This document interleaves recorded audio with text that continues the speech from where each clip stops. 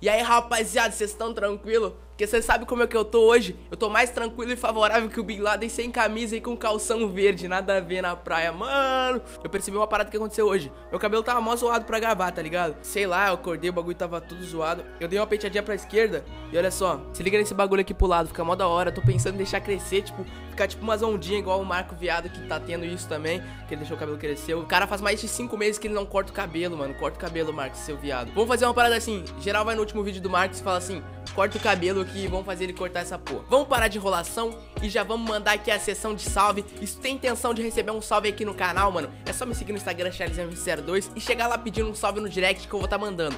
Infelizmente, eu não tô conseguindo mandar pra todo mundo, rapaziada. No começo, eu conseguia mandar pra geral, porque, tipo, só 5 pessoas pediam. Agora, tá mais de 40 pessoas por dia pedindo, mano. E daí fica difícil, entendeu? Eu faço dois vídeos por dia, eu consigo mandar só pra 10. Infelizmente é isso. Mas, mano, eu vou me esforçar pra caramba pra tentar mandar pra geral, tá ligado? Então é isso. Salve aí pro Rodrigo Silva, Xande30, Léo Santana, Kaique, Cauã. O quê?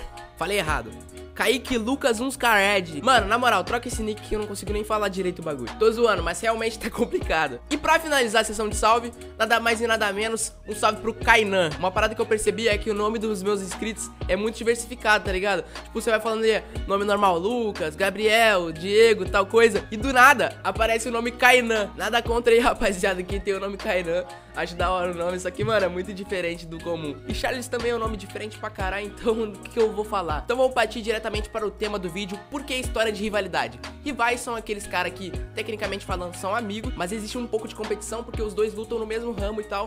E nesse ramo seria, tecnicamente falando, as batalhas. Os dois batalham e vai um contra o outro ali nas batalhas. E os caras se enfrentam pra caramba nas batalhas pelo fato do que, mano? O Fael e o Kant, eles criaram uma grande amizade aí por meio das batalhas, que eles se conheceram por lá e pá. Se eu não me engano, o Kant já conheceu o Fael antes do Fael colar na aldeia. Tudo começou assim, a história entre os dois, foi quando o Fael colou na edição interestadual da aldeia, no qual tinha 32 MCs e dentro disso, vários MCs de fora. A parada tava nível nacional, mas claro, não tiveram a melhor condição, infelizmente estragou o som no meio do evento, teve que recomeçar uma batalha do Thiago Drizzy, várias paradas assim que dificilmente acontecem no nacional. Mas mano, os caras suportar um evento com 32 MCs, botar gente pra caraca lá na plateia, palco gigante lá, trazer um monte de MC de fora, é um bagulho sensacional. Parabéns, Batalha da Aldeia, fizeram um trampo foda. Então, naquela edição, o Fael colou e o Kant colou também, né? Claro. E acabou perdendo na semifinal, acho que se eu não me engano, pro Nicolas Walter. Mas só que na segunda fase ele enfrentou o Fael. Assim começou, tipo, a rivalidade entre Fael e Kant. Claro que na primeira batalha não começou a rivalidade. Na primeira batalha, sim, os caras batalharam, tiveram um contato maior um com o outro, mas não tinha, tipo, aquela amizade que tem hoje nos dias atuais, no qual quando eles batalham, eles sempre simpatizam um com o outro, dando uma risadinha, trocando ideia, se divertindo, mano. Coisa de amigo, tá ligado? Só que qual é o papo? Quando o Fael foi para São Paulo, ele foi para São Paulo, tipo, só para gravar um simples som. Como ele diz no som, o Brabo tem nome. E ele acabou ficando, morando lá em São Paulo, mano. Porque quando você vai pra São Paulo, tipo, eu moro no Rio Grande do Sul, certo? E aqui no Rio Grande do Sul, mano, a parada é muito diferente. São Paulo parece que é o berço da cultura, as coisas, tipo, acontecem lá, entendeu? Apesar de na maioria dos estados terem um apoio à cultura, lá em São Paulo a parada é diferente. Parece que flui mais, entendeu? Eu posso estar totalmente equivocado com essa análise, mas na minha concepção, parece que as coisas acontecem mais lá. Também relacionado à condição de vida. Qualquer horário que você for lá em São Paulo de noite, de manhã, de tarde, vai ter uma parada para fazer, vai ter rolê tipo quinta-feira, segunda-feira, terça-feira, quarta-feira, sempre vai ter rolê lá em São Paulo, mano, o bagulho é louco. Aí Fael foi para São Paulo para gravar um simples som e acabou ficando por lá. Mas agora falando em relação aos confrontos entre o Kant e o Fael. O Kant e o Fael se enfrentaram cerca de 10 vezes na Batalha da Aldeia. Na verdade foram 9. Uma vez o Kant e o Fael batalharam juntos, tipo, de dupla e acabaram ganhando a aldeia. Então, tipo, vamos arredondar pra 10 porque eles rimaram junto. Então, tipo, os caras já estavam fechados ali. E daí é isso. Só que dentro desses confrontos, o Kant ganhou sete vezes do Fael. O Fael tá virando o pato do Kant, hein? Vou falar nada não, hein? E o Fael, ele ganhou mais ou menos duas vezes. Teve também batalhas aí que os dois foram campeões. Lá em Prudente, na Batalha do Vale, a batalha empatou, tá ligado? Contagem de mão, tinha muita gente, o bagulho tava lotado. E acabou empatando, então os dois saíram campeão. Então, tipo, não teve um que ganhou do outro. Mas certamente no resultado deve ter um que ganhou do outro e o pessoal acabou, tipo, empatando, tá ligado? Sem querer, porque não tem como. Ah, vou combinar com 500 pessoas, 250 levantar a mão pra um 250 levantar a mão pra outro. Então é tipo, provável isso acontecer, tá ligado? Em relação a essas informações, eu creio que daqui a pouco vai estar desatualizado pelo fato do que, mano? Os caras batalham sempre, mano, sempre batalham junto. Então, tipo, não tem muito o que falar, tá ligado? Dá papo aí de dois meses que os caras já devem ter batalhado assim umas 50 vezes contra o outro, tá ligado? Enfim, com essa parada aí do Kant e Fael se enfrentarem nas batalhas, o Fael e o Kant, eles acabaram tendo uma parada que se chama simpatizar. Os caras começaram a simpatizar com o outro. O que que seria isso? Criar uma amizade, ser um pouco mais próximo um do outro, fazer as paradas junto, pá. Papo até de morar junto, tá ligado? Se eu não me engano, eles moraram juntos já. Com essa proximidade, eles acabaram criando um grupo que se chama Mob 55, no qual lançaram diversos sons, mas infelizmente aconteceu uma parada aí que foi imprevisto, tá ligado? Que o produtor deles saiu da banca e saindo da banca eles ficaram tipo na mão, tá ligado? O produtor é uma das paradas mais importantes aí para quem faz música. Normalmente, os caras que fazem música, eles têm, tá ligado?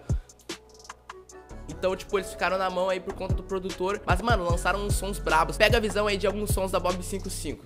Meu bem, diz pra mim o que você quer de mim Além das notas de 100 Quero meus parça, tudo de casa com persa Pensam que nos engana Estamos cheios de grana, fazendo grana Grana, grana, grana, grana ah. Perguntaram por que eu sou viciado em rima, cigarro, sinuca e mina? Porque sou se monstro na letra e no freestyle. Então cê mina, quem não fode sai de cima. O dicionário é meu pastor, não me faltará punchline. Frontline. Cês ficam ligados em rap game Enquanto isso instale o modo pra jogar offline. Playtime, a vida acorda Então é isso, pra você que não sabia o motivo da Mob 55 ter parado de trazer som, trazer conteúdo aí pro seu público, é pelo fato do produtor ter saído. Mas, mano, tem vários sons gravados aí com diversos MCs, um deles é o Chris, da 1 kg, gravou com a Mob 55, vai sair som, e pelo fato do Fael ter uma amizade muito grande com os caras do tanque, eu creio que daqui a pouco sai som com uma deixa parte, sai som com classe A, sai som com vários, mano. É aquele papo, questão de tempo pro corre virar. Em relação a esse som aí que o Fael gravou com o 1 kg, mano, o som já tá gravado, a track, gravaram o videoclipe, mas infelizmente deu alguns erros de gravação, vai ter que gravar de novo. Mas a previsão é que saia o som e o videoclipe. Uma coisa que eu queria acrescentar também é que o Fael, ele mudou o vulgo dele pra Kenai pelo fato do que, mano? Se eu não me engano, Kenai era tipo um vulgo do irmão dele, e ele acabou mudando de vulgo pra fazer tipo uma homenagem, porque o irmão dele faleceu, né, mano? Infelizmente aí essas coisas acontecem,